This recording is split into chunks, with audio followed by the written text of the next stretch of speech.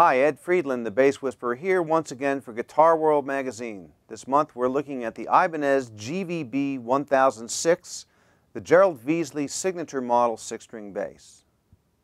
Well, on the surface this bass looks pretty much like any Ibanez Soundgear you might run into at Guitar Center, but in fact it is quite a different beast indeed. Custom built by the master luthiers at the Ibanez Japan factory, this bass is top-notch all the way and it's got a price tag to match. Street price about 5,000 bucks. No doubt you're wondering why this particular bass is so much more expensive than even the top of the line Ibanez basses that you'll find typically. Well, the level of quality is a big step up.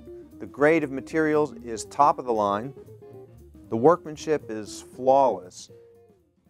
I'm sure many of you are familiar with Gerald Veasley. He's one of the top names in jazz on electric bass.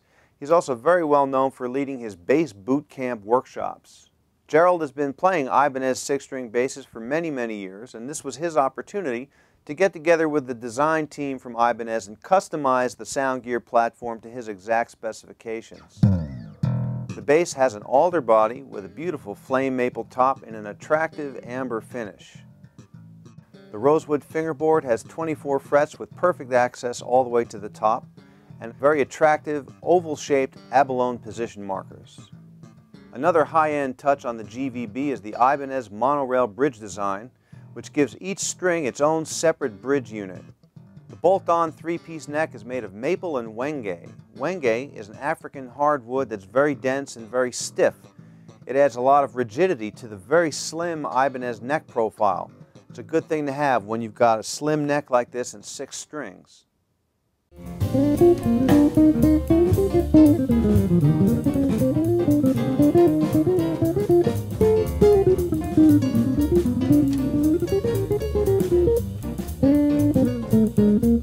The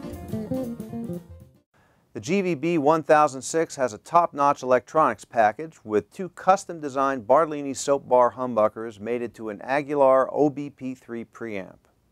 The Aguilar is a very powerful preamp. It gives you plus or minus 18 dB for the lows, centered at 40 Hz, plus or minus 16 dB for the mids, either at 400 Hz or 800 Hz, which is switchable with a push-pull pot on the mid-range control and plus or minus 16 dB centered at 6.5 kilohertz. Let's take a listen to the bass. Right now I've got both pickups up full, preamp set completely flat.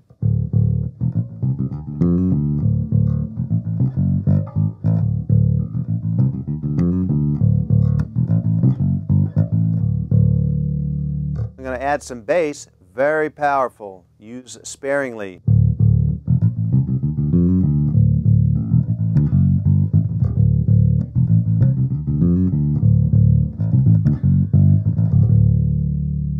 That's just a smidge. I'm going to max the bass out.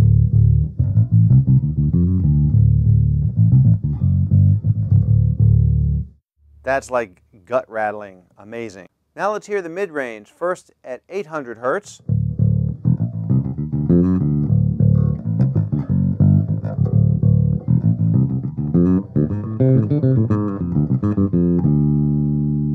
Now we'll pop it 400.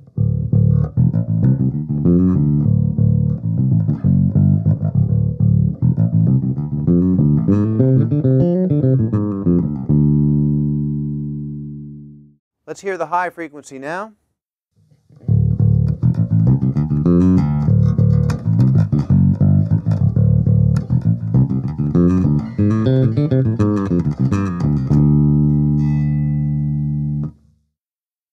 Like all Ibanez 5 and 6 string basses, the GVB 1006 is 34 inch scale. So how's the B string?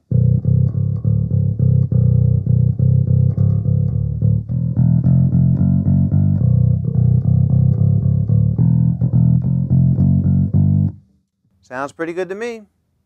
One thing you may have noticed about the Veasley bass is the string spacing is exceptionally narrow. We've got 14 millimeter spacing down here at the bridge, which is probably the narrowest I've ever seen.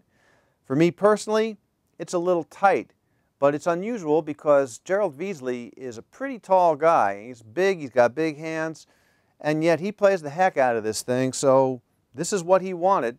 Uh, the idea was that, you know, for playing chords and stuff, which is a big part of his style, it would be a lot easier with the narrow spacing.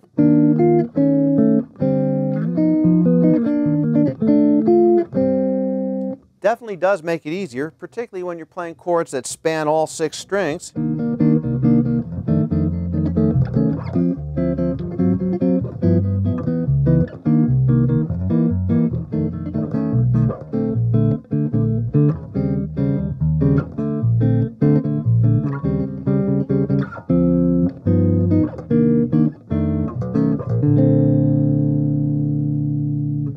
Certainly does make it easier.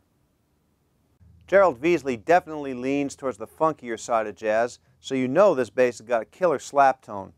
I'm going to pump up the lows, open up the highs just a little bit. Let's check it out.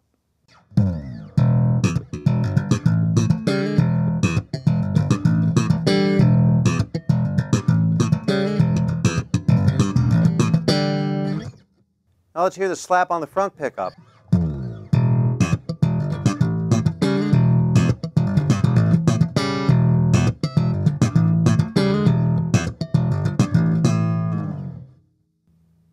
Now the back pickup.